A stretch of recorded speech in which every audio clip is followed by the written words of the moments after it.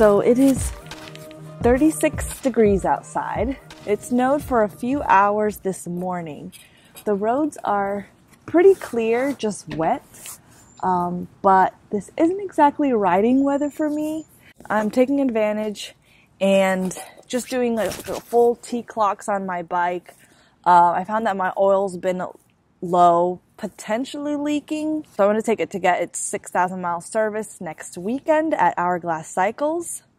Um, today, right now, I, I check the tire pressures, check the coolant levels. I just finished waiting 20 minutes for the um, paraffin to dry after cleaning and lubing my chain. You can use kerosene or paraffin. Uh, and if you want to see how I actually clean and lube my chain and other stuff like that, um, I'll link to that down below and at the end of this video. Um, but now I'm ready to lube the chain. I also just want to touch it up and because it's a little bit dirty. Um, I want it to look as best as I can when I bring it in for service so they don't think I'm abusing this and call child services on me. As I uh, do all that, I'm going to talk to you guys about why women quit riding. Last time I did this, I got oil like all over my coolant um, tank reservoir. Coolant reservoir is the proper term. I'm gonna take this paper bag that I was sitting on, so I wasn't, so I don't have a wet butt, and put it right behind there. I've seen other people use like uh, cardboard, which is probably better than this. I only thought about that just now, so that's gonna have to do.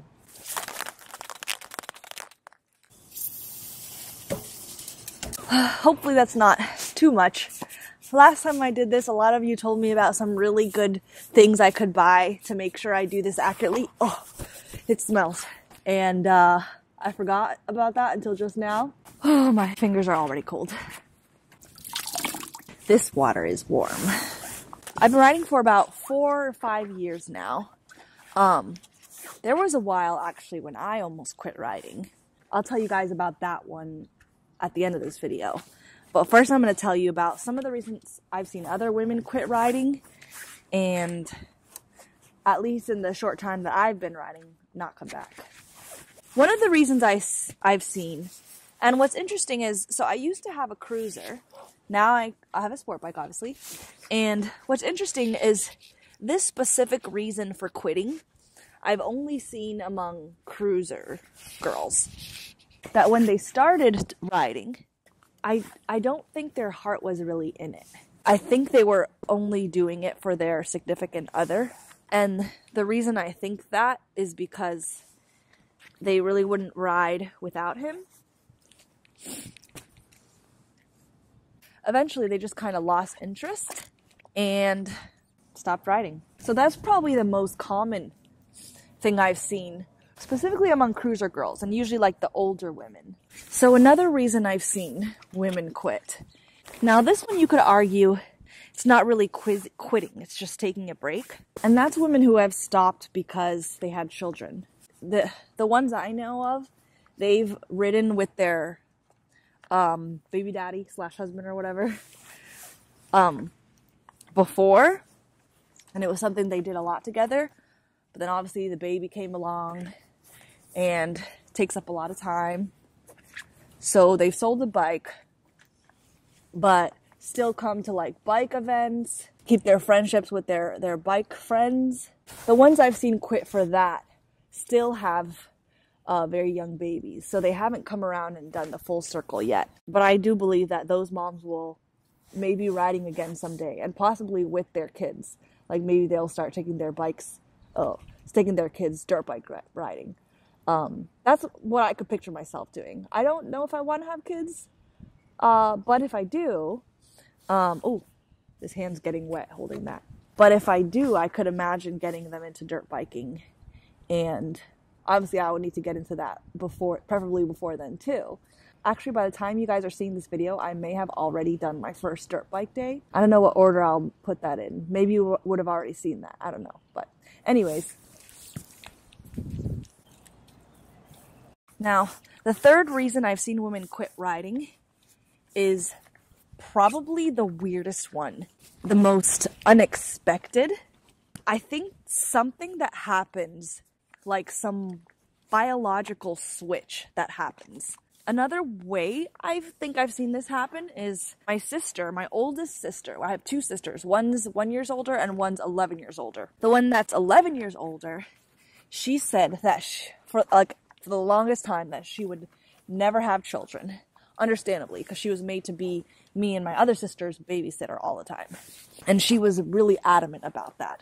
But then she said that she couldn't explain it, but something happened when she turned 30 or 31 or 32, I think she said it was. She said that it was like the switch went off in her head, and all of a sudden, babies was all she could think about.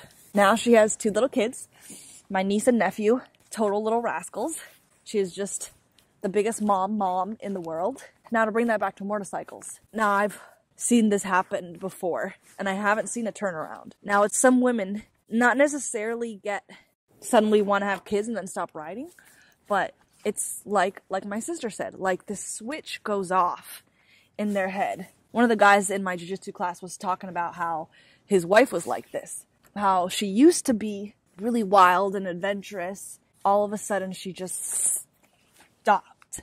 She suddenly like had all these uh worry worrying instincts and there are all these cracks and dirt I see that I can't get into. And now, my reason why I almost quit riding, my second year of riding. I was still a noob, obviously, only one year, and I wasn't commuting on my bike. I was only riding like on the weekends, so I was still not very advanced. And what happened was, I got another bike. I got the um, Triumph Bonneville, and physically, at stationary especially, I couldn't handle it. It was really difficult to even just take off the kickstand, really difficult to like back up and walk into like a parking spot or back out of a parking spot.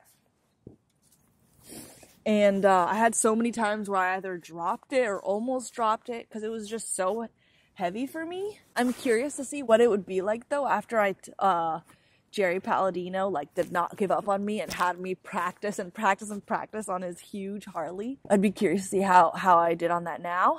But for me, getting the wrong bike for my body type and experience level made me not enjoy riding. And I, for a while there, I thought maybe riding just isn't for me. Well, I guess actually that's not just, that one isn't just women.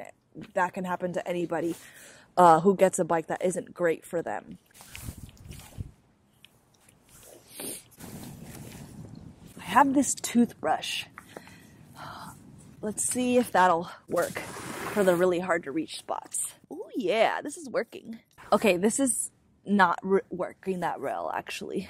Okay, there's still like so many nooks and crannies where this is dirty. I mean, like my fiance, he started riding when he and I were just friends, or he says dating, but debatable.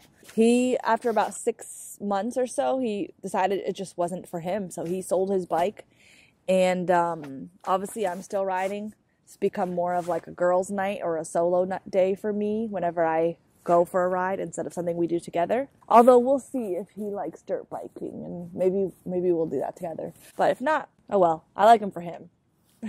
I'm wearing UGG boots and my toes are cold. So I'm gonna get going. I got a friend's party to go to, and I will see you in the next one.